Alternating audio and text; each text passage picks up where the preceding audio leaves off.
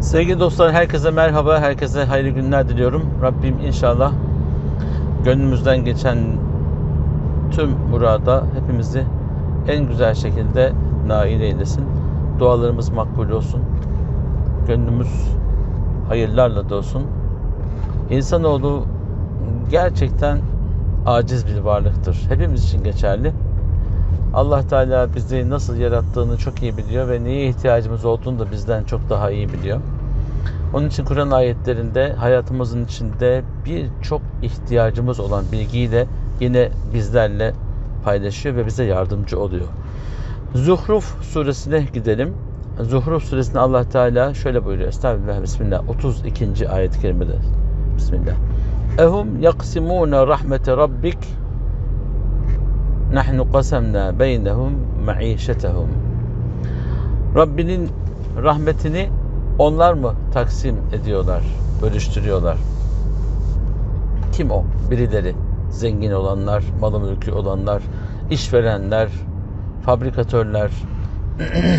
yani insanlara eliyle bir şeyleri verirken kendilerinin verdiğini düşünenler özellikle uyarıyor diye görüyorum bu ayet-i kerimede. Sizler de dikkat kesilip fark edebilirsiniz.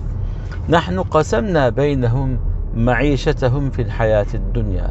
Dünya hayatındaki bütün maişetin yani yaşam için ihtiyaç olan bütün nimetleri biz taksim ettik diyor Allah Teala.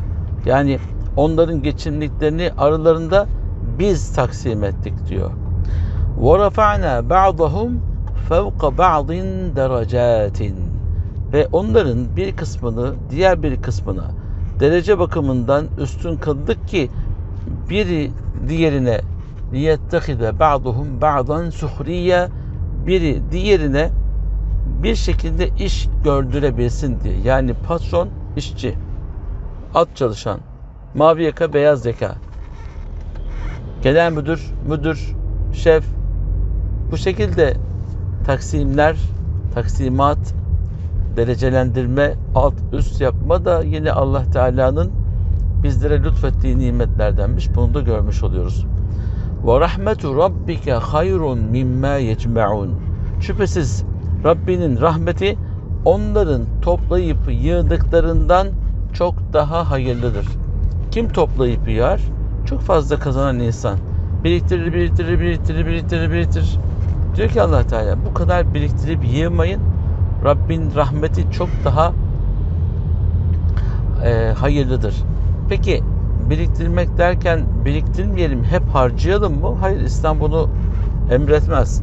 Fakat ondan bundan kısarak, insanların hakkını gasp ederek, insanları dağıtmak, insanlarla paylaşmak zevkinden mahrum olarak bir hayatı yaşamayı men ettiğini görüyoruz. Zira Allah Teala nimetleri bize bahşeder ve bu nimetleri de kullarıyla paylaşmamızı ister. Tıpkı bizim maaşı aldığımızda sigortamızı ödememiz, vergimizi ödememiz, kiramızı ödememiz, bakkala olan hesabımızı kapatmamız gibi durumları yaşadığımız gibi o an nasıl sosyal bir paylaşım oluyorsa Yaradan da nimeti taksim ettiğinde bizim taksim ettiğimiz nimeti kendileri mi taksim ediyor zannediyorlar diyerek bir şekilde malı kenara yiyanları yeriyor ve dikkat çekiyor onlara. Zuhruf suresi 32. ayet-i kerimede. Tabii ki bu söylediğimiz mevzu sadece çok varlıkta olan insanlar için geçerli değil. Allah'ın verdiği nimetleri yine Allah yolunda harcamak üzere kurulan bir sistem var. Bugün parayı, altını, dövizi alıp kenara koyup yığan kardeşlerim sizlere sesleniyorum. Sizin bir dolara, euroya ya da altın, madene parayı yatırıp orada bekletmenizin adı ticaret değildir. Kendinizi koruma altına almanız değildir. Paranın hareket etmesi, dolaşması ve insanlarla tedavülde olup paylaşılması gerekiyor. Alışverişte bereket var. Parayı yiyip bıraktığınızda ancak paranın olduğu yerde yitip bittiğini görürsünüz, görürüz. güncel ticarette, güncel alışverişte yerini bulmalı. İktisat yapılmalı, tasarruflu olmalı, olunmalı ama döviz olduğu yerde 10 yıl, 20 yıl, 30 yıl durduğunda ancak mevduattaki yerini korur. Fakat sizin alım gücünüz zaten her şey dolar endeksli tüm dünyada yükseliyor, azalıyor. Enflasyon da bir de bu taraftan vurunca karlı gözükürken yine zararda oluyorsunuz. Zamanında alamadığınız, zamanında işletemediğiniz, zamanında sisteme sokamadığınız şeylerin yine zararını görürsünüz. Tabii ki bu ayeti kerimenin açıklaması değil bu. Fakat ayeti kerimenin bizlere lütfettiği nimet şu. Verilen bu nimetleri Allah en güzel şekilde taksim ettiğini bize müjdeliyor. Onun için birilerinin yukarıda olması, birilerinin aşağıda olması alçaklık, yükseklik derecesi değil, birbirimize işlerimizi gördürebilmek adına bu geçerli. Bir şoför kardeşimiz yüksek bir ruh sahibi olabilir. Yüksek ruh sahibiyken başkasının yanında çalışıyor. Çok fazla imkanı olup onu şoför olarak yanında barındıran kişi kendini bir şey zannetmesin diyor Allah Teala. Taksimatı biz yapıyoruz. Şimdilik böyle. Öyle bir zaman gelir ki şoför iş kurar, büyür, gelir. Siz batarsınız, şoför durumunda kalırsınız. Kimin ne zaman ne olacağını bir tek Allah biliyor.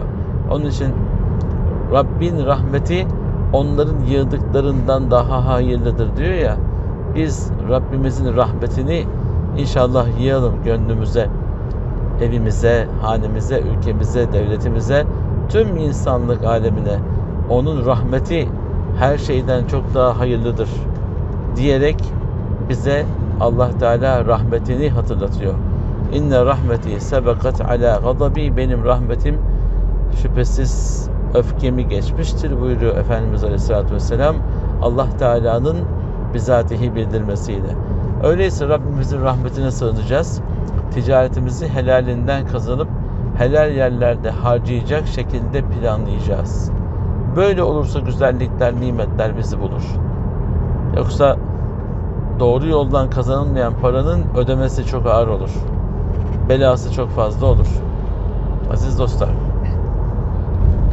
bazıları imreniyor. Bir defa voleyi vurayım, yakalanmazsam rahat rahat yaşarım. Öyle bir dünya yok.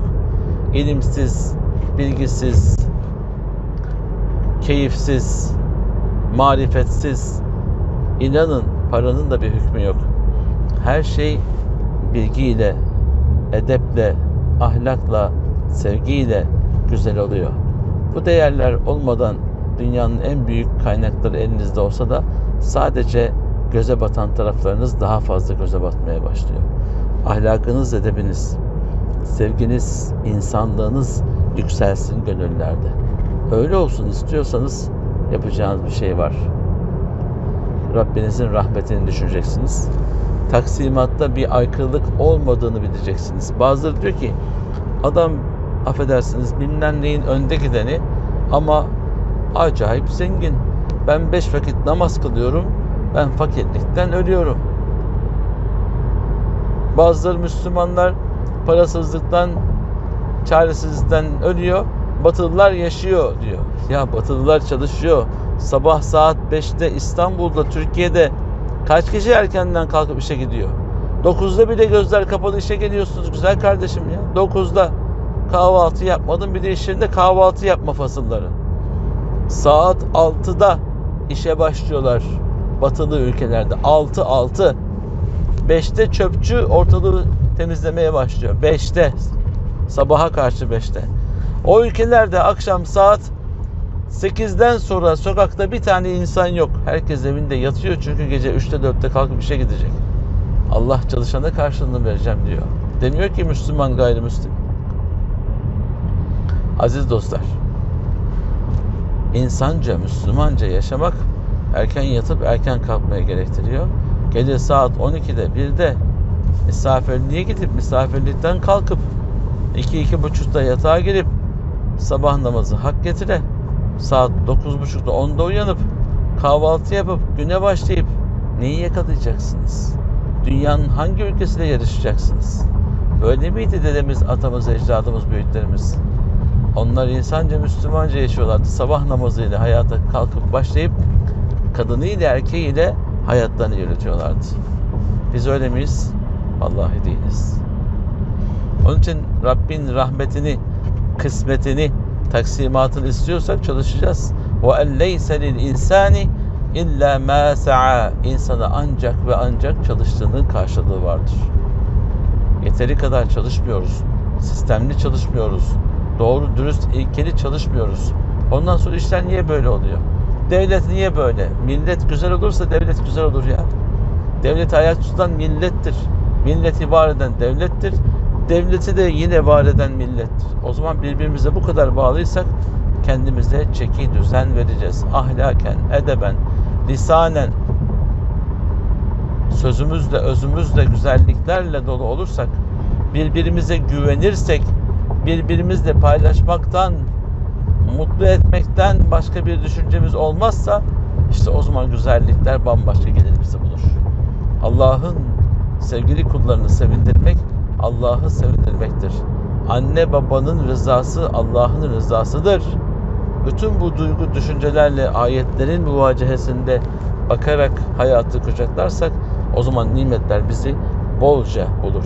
Aziz dostlar, sevgiyle, dua ile başladık sohbetimize. Yine sevgi ve dua ile tamamlayalım. Zuhruf suresi 32. ayeti okumanızı tavsiye ediyorum. Allah'ın taksimatında eksiklik olmaz. Allah Teala fazla verir imtihan eder, az verir imtihan eder. Şükredenlerle şükretmeyenler, inkar edenlerle nimete şükran dolu olanlar arasındaki farkı görmek için bu imtihanı yapar. Unutmayın, imtihan her zaman var. Ama Allah Teala kullarını başarısız kılmak için değil, bilakis başarılı kılmak için bütün bu imtihanları bizim için var ediyor. Peygamberlerini imtihan eden Yaradan bizi mi imtihan etmeyecek? Ama imtihan kötü bir şey değil. İmtihanla bize nimetlerini daha da fazla artırmak için lütfediyor Yaradan. Rabbimizin her şeyine şükürler olsun. Gece uyutan, sabah uyandıran, nefesi aldıran, bakınca gördüren, bu güzel arabaları, bu güzel tabiatı, güneşi bizler için var eden, annemizi, babamızı, etrafımızı, sevenlerimizi, sevdiklerimizi bizim için lütfeden Allah'a hamdolsun. Herkesin ve her şeyin sahibi Yüce Rahman'a emanet olun. Allah'a ısmarladık.